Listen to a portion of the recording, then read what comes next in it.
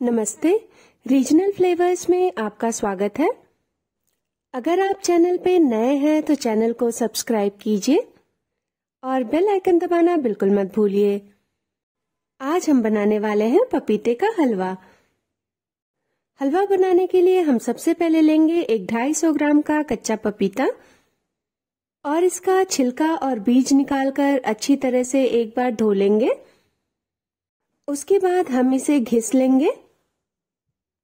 घिसने के लिए हम पतले वाले ग्रेटर का प्रयोग करेंगे ताकि ये जल्दी पक जाए और बहुत ही सावधानी से सारे पपीते को घिस लेंगे। ये देखिए, हमने सारे पपीते को घिस लिया है।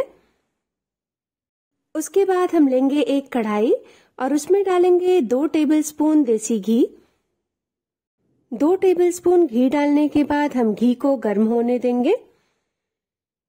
और इसमें डालेंगे थोड़े से काजू और पंपकिन सीड्स और उन्हें सुनहरा होने तक भून लेंगे।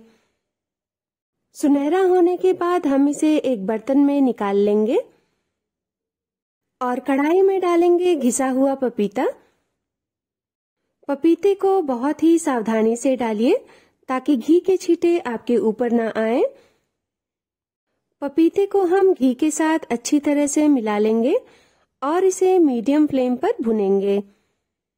हम इसे पाँच मिनट तक के लिए भुनेंगे ताकि इसके रेशे थोड़े मुलायम हो जाएँ। उसके बाद हम इसमें डालेंगे दो कप दूध। और दूध डालकर हम इसे मीडियम फ्लेम पर भुनेंगे। हम इसे बीच बीच में चलाते हुए भुनेंगे ताकि ये नीचे से लगे नहीं। अब इसे पकाते हुए लगभग 10 मिनट हो चुका है और ये 80 प्रतिशत पक चुका है। अब हम इसे तब तक भुनेंगे जब तक ये कढ़ाई छोड़ने न लगे या फिर इससे घी न निकल आए।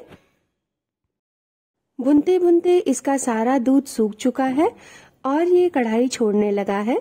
अब इस स्टेज पर हम इसमें डालेंगे वन फोर्थ कप चीनी और इसे चीनी के साथ भुनेंगे। चीनी के कैरेमलाइज होने के बाद हम इसमें डाल देंगे वन फोर्थ टेबल स्पून इलायची पाउडर और इसे अच्छी तरह से भुनेंगे। इसको हम तीन से चार मिनट तक मीडियम फ्लेम पर भुनेंगे और फिर इसमें डाल देंगे अपने भुने हुए काजू और पंपकिन सीड्स और इसे हम पपीते के साथ अच्छी तरह से मिला देंगे। और इसे हम तब तक भुनेंगे जब तक ये कढ़ाई छोड़ने न लगे। भुनते भुनते अब हमारा हलवा कढ़ाई छोड़ने लगा है और ये देखिए, इसका कलर बिल्कुल अलग हो चुका है। और ये देखिए, हमारा बहुत ही स्वादिष्ट और शानदार पपीते का हलवा बनकर तैयार है।